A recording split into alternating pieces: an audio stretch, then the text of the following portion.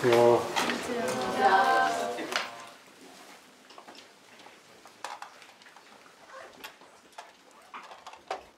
私37年間、えー、教職続けてきてお前たちが一番のことは2つあります。どっちを聞きたいですか？悪い方の一番ですか？いい方の一番ですか？悪い方からはい。悪い方は簡単です。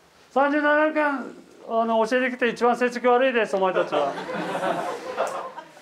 いい方の一番は？37年教えてきた中で一番お前たちは温かい優しい心が。今から3年前ね。の3月だ。春休み。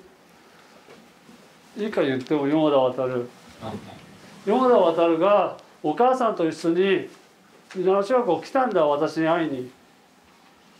なんでか分かる？手が不自由だからいじめたり差別を受けるのが心配だっていうことの相談だよね。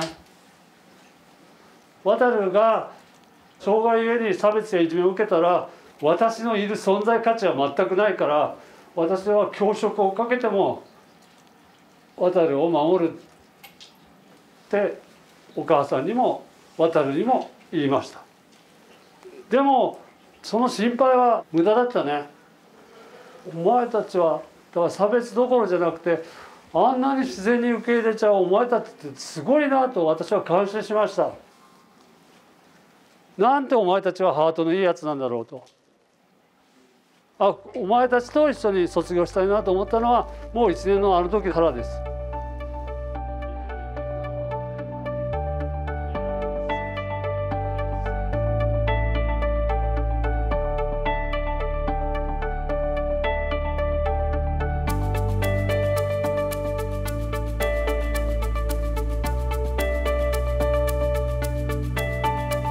見えない自分が生きていく意味はどこにあるんだとこのまま見えなくて生きていくってことはどういうことなんだと。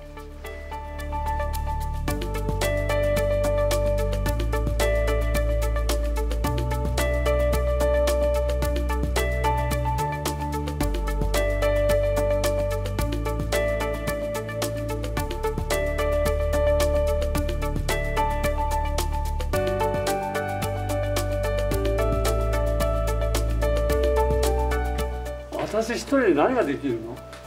でしょ？私ができるのは教師よ。周りの人のサポート。そうなんだよ。もっと大きな声で周りの人のサポートのおかげ、そうなんだよ。多くの人に出会ったからその出会った人たちに助けられたから今があるんだと思います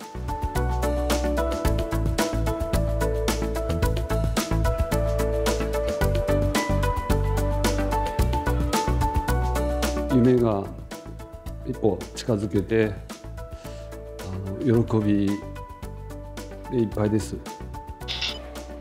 私の名前は工藤祐樹です私の名前は高橋幸子父親は声が大きいです趣味はお世話したりでよか？ったです10時の方向にパンがあって方向に牛乳はい。わかりましたえどうやって授業するんだろうとか。え文字隠れるのかなとか思いましたね。はい。お願いします。けどそれが普通になりましたね。それが吉野家先生の個性だなと思って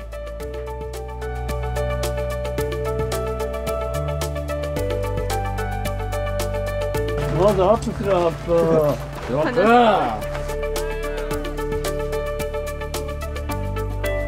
じゃあねあのロックにお付き合いください。よし。いきます。前ここここです前前。えなんかノックするって言ったんであの本気で言ってるんかなと思ったんですけど。まあでも実際やってみた。ら構えてたところに来て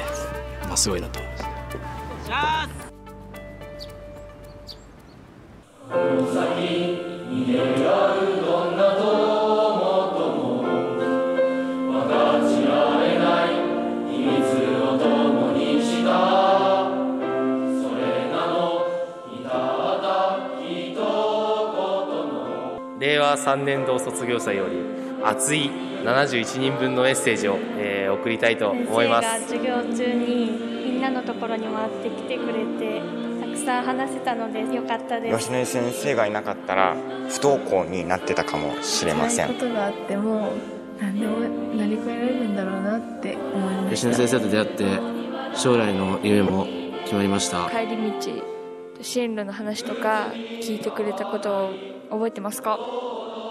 楽しかったです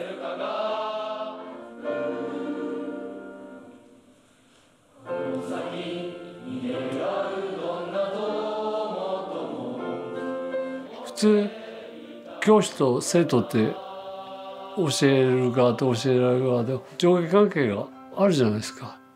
でも私の場合はそういう関係もありつつ助けられる立場でもあるっていうそういううん単にあの上下関係だけじゃなくて並列だったりしてそういうお互いを思いやる助け合うってことをできたんじゃないかなと思います。